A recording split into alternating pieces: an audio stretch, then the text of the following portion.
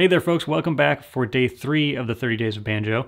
What you just heard is what we're gonna learn today. It's a combination of the pinch patterns from yesterday and the melody of Boil That Cabbage Down. And if you can do those things separately, then it's actually not that difficult to combine them. Really, all you have to do is play what you already know from Boil That Cabbage Down, just that simple melody, all with your index finger, and then you're just adding in those pinches in between. So for instance, that first measure, one, two, three, four, becomes one, two, three, four. Great, not so bad. The next measure is not so different. You're gonna do the exact same thing with the right hand. One, two, three, four. You're gonna put your index finger on the first fret, just like you would for Boil That Cabbage Down as you've been practicing, but you're gonna do one new thing. You're gonna take your ring finger and put it on the second fret. I know that seems strange. Why wouldn't you just use the middle finger? But for reasons that you'll see later on in this series, we're gonna use the ring finger. Then you just do the same thing. Easy. Then go back to that first measure again. Then we go to our next position, like we do in Boil That Cabbage Down, which is the middle finger on the second fret of the third string.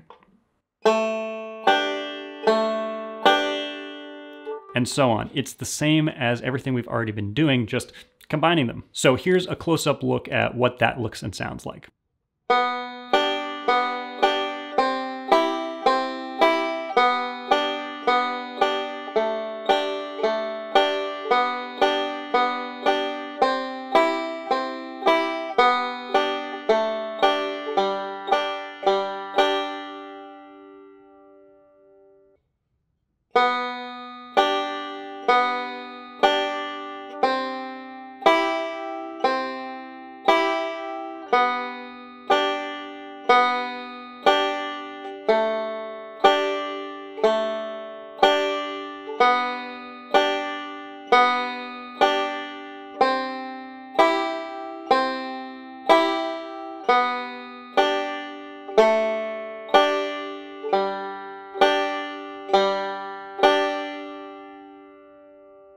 Now, this is the first time that we're actually putting together a couple ideas, and that can make things a little bit more complicated. I'm sure that intellectually you probably understand what it is that you're supposed to do today. You're supposed to play the melody of Boil That Cabbage Down and just include pinches. Of course, when you do this note, you add in your ring finger. Great. I'm sure none of that is super confusing to you. However, in practice, I think you probably have to do a little more practicing than that. And the way that that's going to be really productive is if you do it slowly and methodically. I'm sure you could just play it quickly.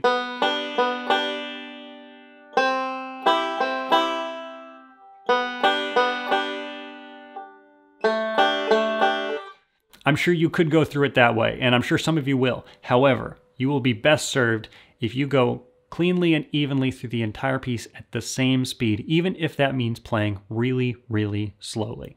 That's no problem. So it would just be like this.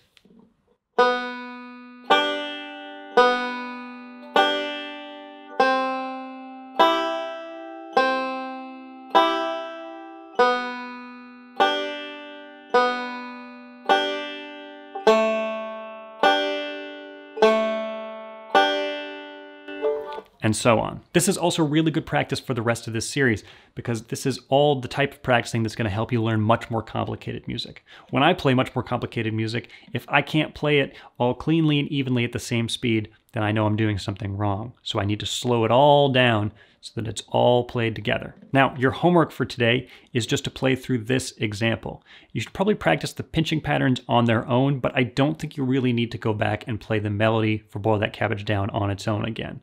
Some of this stuff we can leave behind us. So practice those pinching patterns on their own and this new pinching pattern arrangement of boil that cabbage down. And again, in terms of practicing, it might be really helpful for you to just count along with yourself like this. One, two, three, four, one, two,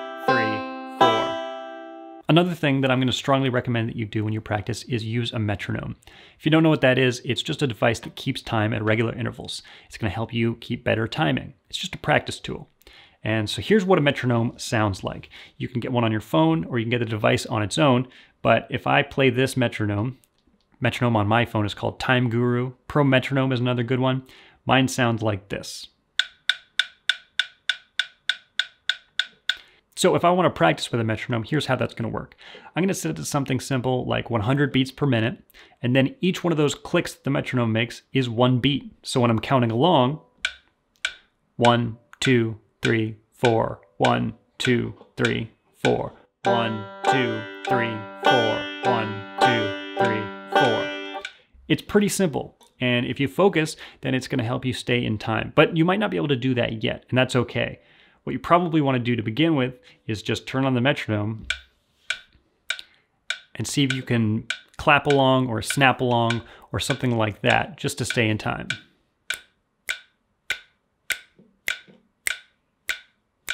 Then maybe you just want to play one note. Right? Then maybe you want to do something like play that example of the melody of Boil That Cabbage Down. One, two, three, four. One, two, three, four. One, two, three, four. One, two, three, four. So the more comfortable you get with that idea, the easier it's going to be to play along with it. It's kind of the same as planting on the head of the banjo or using finger picks. It's something that if you do it, it becomes easier. Aside from that, all you need to do is check out some of the links in the description, like for instance to the playlist for listening examples of Don Reno. That's the featured banjo player for today. Don Reno, as I said yesterday, is one of the big three Earl Scruggs, Ralph Stanley, and Don Reno. And he pioneered a special style of banjo playing called single string, which sounds a little bit like this.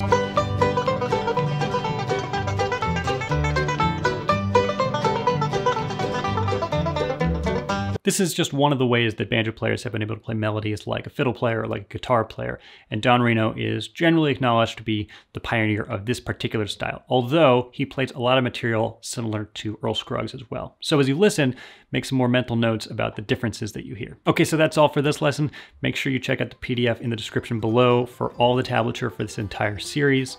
And if you don't mind, do me a favor and subscribe to this YouTube channel. That's a huge thing that you can do to help me make more of these videos. So if you do that, I really appreciate it. Anyway, thanks for watching, and I'll see you tomorrow for the fourth day of 30 Days of Banjo.